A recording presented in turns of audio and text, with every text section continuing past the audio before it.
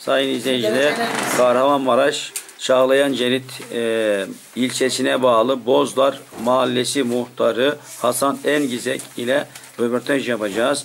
Bu Bozlar daha önce beldeydi. Tümşehir yasasıyla kapatıldı. Tek mahalleye dönüştü.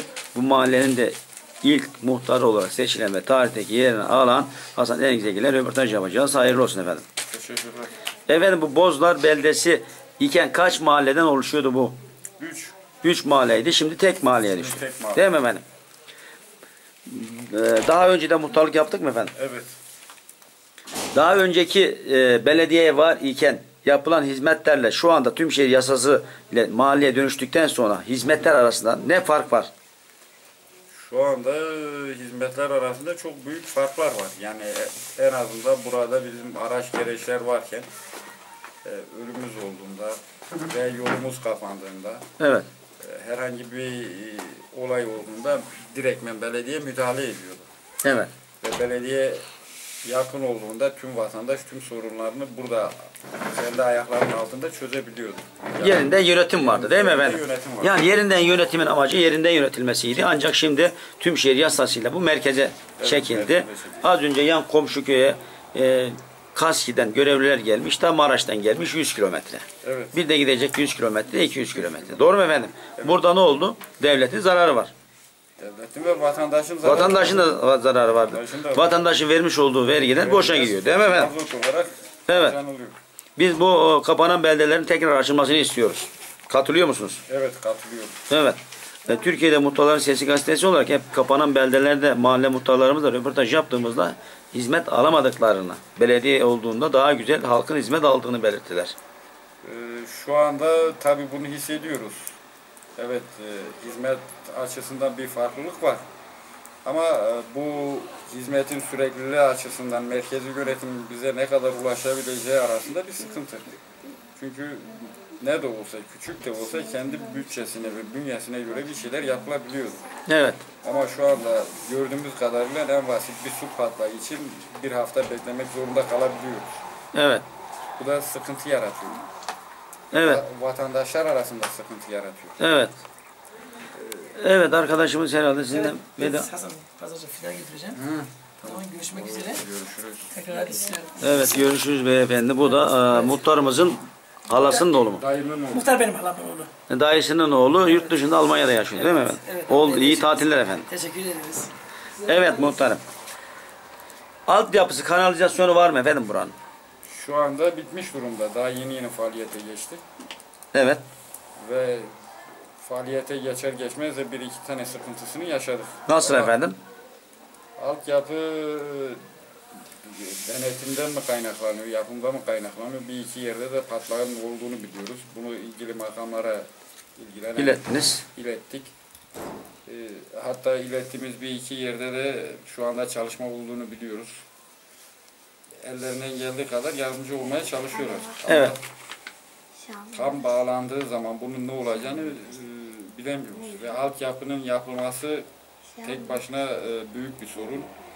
Altyapı yeterli olsa dahi arıtma tesisi olmayan bir altyapı dünya üstünde Altyapı değildir. Doğru mu efendim? hiçbir yaşamı kurtarmaz. Aksine yaşamı kendi yaşayacağımız dünyayı kendimiz kirletmiş oluyoruz. Evet.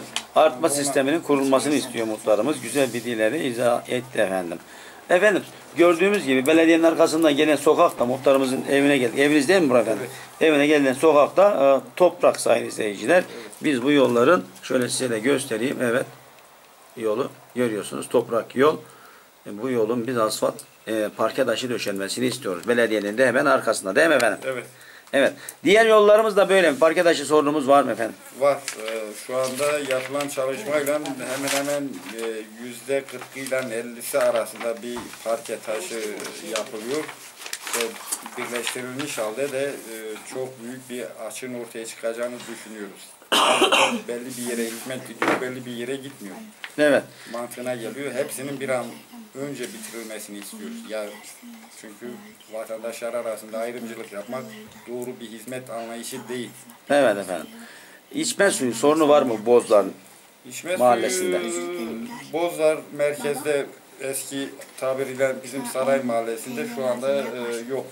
Küçük çaplı olsa da var ama onlar önemli bir sorun değil ama bizim yeni bağlanılan Güzel Yurt Mahallesi'nde sorun var.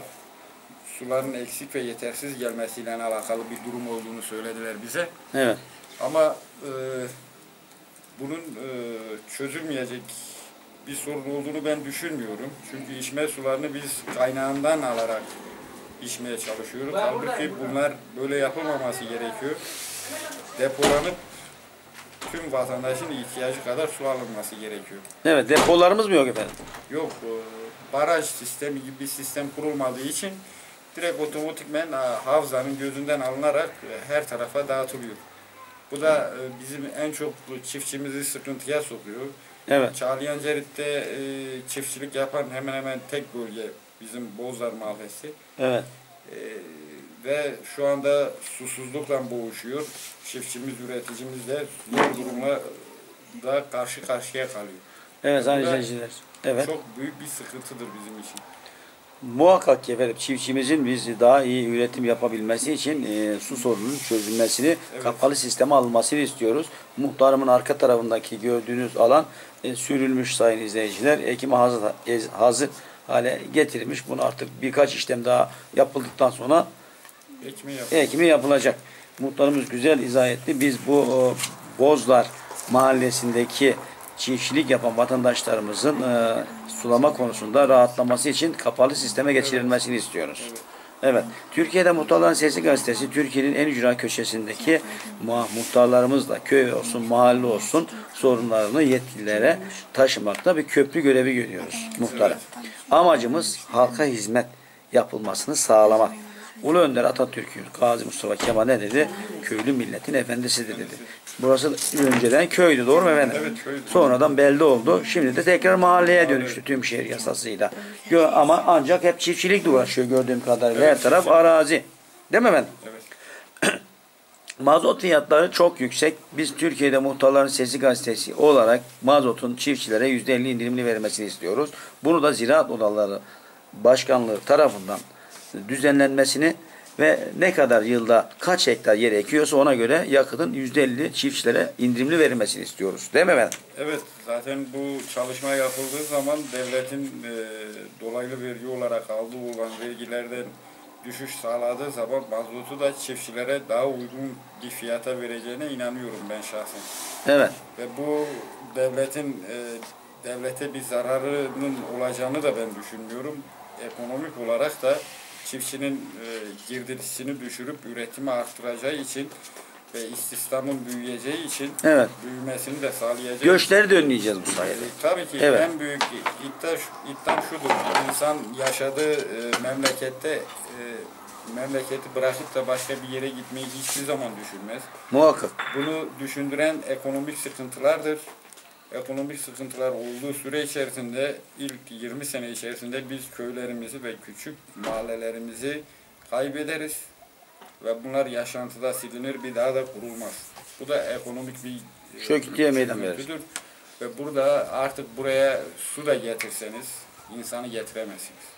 Evet sayın izleyiciler muhtar arkadaşımız gerçekten kültürlü, bilgili, çok güzel cümleler kullanarak bu yöre halkının sıkıntılarını dile getiriyor. Biz de kendisine tebrik ediyoruz. Biz böyle kültürlü muhtarların seçtiği için Bozlar mahallesi halkına da teşekkür ediyorum. Her muhtarın böyle yaşamış olduğu bölgenin sorunlarını e, dile getirmesini ve yetkililere ulaştırmasını istiyoruz. Değil mi efendim? Efendim, e, kültür evi yaptırmışsınız. Gördüm güzel. Her mahallemizde bu var mı? Evet, şu anda bizim bu bölgede bulunan her e, Cerit bölgesinin hepsinde yok ama biz beldeyken bu sorunu aşmıştık. Vatandaş işbirliğiyle Evet. kültür evlerimizi yaptık ve e, ölü ve düğünlerimizde rahatça kullanabiliyoruz. Evet çok güzel. Yani Bu da- kültür evlerimiz her türlü Her e, hizmet, amaca hizmet ediyor. Çok güzel. Biz bu her yerde e, kültür evlerinin yapılmasını istiyoruz. Bir insanların inançlarına göre yaşamasını istiyoruz. Tabii, tabii. Hiç kimseye ayrım yapılmasını istemiyoruz. Çünkü öncelikle hepimiz insanız. İnsan. Ki paylaşamayacağımız hiçbir şey yok. Var mı efendim paylaşamayacağımız hiçbir Zaten şey? bir tane dünya var. Bir tane dünya var paylaşacak, dünya paylaşamayacağımız hiçbir şey yok sayın izleyiciler. Bak görüyorsunuz Bozlar e, mahallesi arka tarafımızda da gözüküyor. Çok güzel bir görüntü var arkamızda. İnsanları da Ma- Kahramanmaraş'ın insanları gerçekten cana yakın, misafirperver, e, İkrem İz, İzzet'te çok e, öndeler. Buradan tüm Kahramanmaraş halkına, Çağlayan Cerit ve Bozlar Mahallesi halkına da teşekkür ediyoruz. Yöresel şöyle karpuz, buna ne diyorsunuz efendim? Ee, biz değiliz de. Acır, armut ve elma e, ikram ettiler burada kendilerine. Yengeye teşekkür ediyoruz. Yenge değil mi efendim? Evet. Evet. Muhtarım, muhtar olma amacımız neydi efendim? En büyük amacımız e, mahallemizdeki sorunları kendi tabirimizden ilgili makamlara iletip ve sorunların çözülmesini sağlamak. Evet. En güzeli bu. Yani zaten muhtarlar köprü görevi görüyor. Biz de bu köprü görevine bir artı ekleyerek bunları insanlara görsel olarak da gösteriyoruz. Basın olarak. Eğer basın olmasaydı ne Soma'daki olan olaylardan Evet. bilgimiz olurdu ne IŞİD'in orada yaptığı katliamdan ve veyahut Ve da İsrail'in Gazze'deki Gazze'de katliamından bilgimiz olurdu. Geçen İstanbul'da gördüğünüz bir gazeteci arkadaşımız e, Galatasaray. Evet, Florya testlerine girerken rahmetli oldu. Buradan ona da rahmet eylesin diyoruz. Yani gazetecilik zor iş arkadaşlar. Yani görüyorsunuz e, burası dağın tepesine kurulmuş bir köy, beldeydi. Şimdi mahalle oldu. E, Türkiye'nin en ücra köşesine de gidip yerle sorunları yerinde tespit ediyoruz. Zaten en büyük sıkıntımız o. Devlet de denetleme kurulu kuruldu. Devlet denetleme kurulu kurulmasındaki amaç her tarafı denetlemek. Evet, yerinde Ama ne yazık ki benim tahminime göre bugüne kadar hiç devlet denetleme kurulunun hiçbir şeyi denetlediğini görmedim. Değil mi? Gördünüz mü çevrenizi? Görmedik. Yok. Evet, ben de görmedim yani yaşadığım bölgede.